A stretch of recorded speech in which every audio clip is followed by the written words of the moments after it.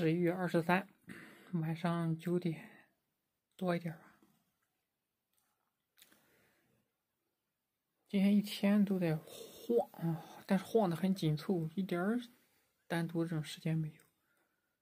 这种空闲时间也有可能几分钟，其实可以去专门找时间去。嗯，但是意愿不强，这就拖到晚上了。我其实不喜欢晚上的家录，家录这个老婆孩子都在家里边说话时候，老感觉不是这么放松。就是还是不习惯这种，嗯，有意思。刚才我刻意看了一下今天看的视频，还有这个听的一些这个讲座什么的。嗯，这几天书看的不多吧，但是听这些大学教授讲课，这些听了不少。早上听那个葛剑雄讲那个地理发展。嗯，也不知道他跟谁是在什么场合下讲的，讲这种，反正就是不能盲目的去说搞这种大国主义，什么这种哪个国家一直引领世界呀？再一个讲中国的这种地理局限啊。他的很多这种想法呢，都跟那本叫什么《枪炮和细菌》《枪炮、钢铁、细菌》有这种精神上的一种相通，但是他不如那本书说的详细和深入，因为他本身不是搞，呃，这种基因研究啊，或者是植物学啊这东西，这方面数据他没有，他只是从地理角度，因为他是搞这种国家嗯地理历史的历史地理上的人。他他从他专业角度上去去去阐述了一下事实情况，嗯，还行。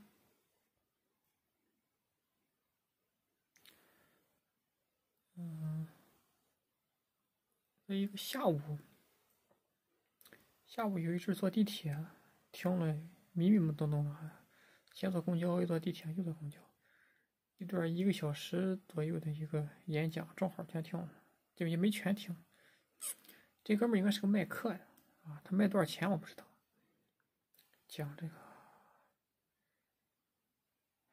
我都不知道讲啥。就说人应该放眼天下，才能无为啊，不为自己，为别人，才能达到自己的成功。就是那驴唇不对马嘴。啊，但是还讲振振有词，说这个一开始讲课人多少多少，后来在减少，因为大家都很很忙哈，不知道把这个精力应该投入到这种学习中去，说这种应该就人应该不停的向前奋进，嗯，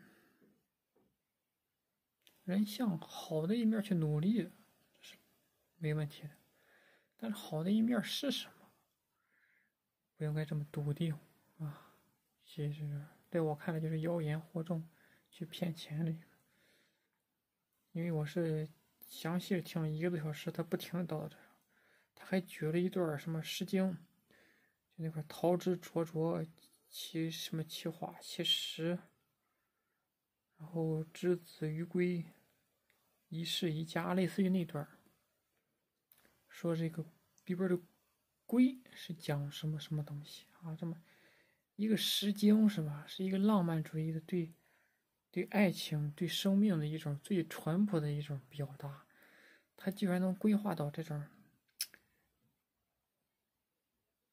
就是儒家还是什么家的这种这种，说，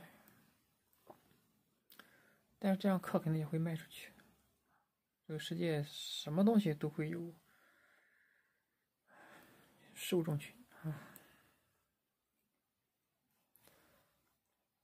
然后晚上又出去喝了顿酒，但没没喝多，意思意思喝了点。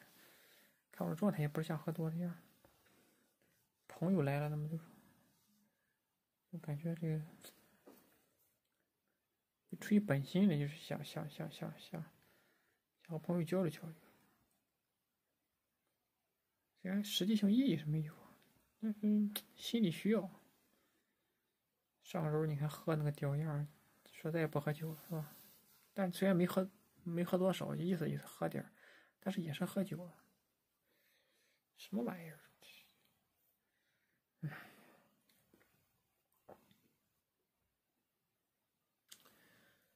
嗯，还有啥想说的？哦，太累，这两天晃着晃着，不是去公司想坚持下这这这啥也不行，就可能主要是中午这个觉不睡很难受，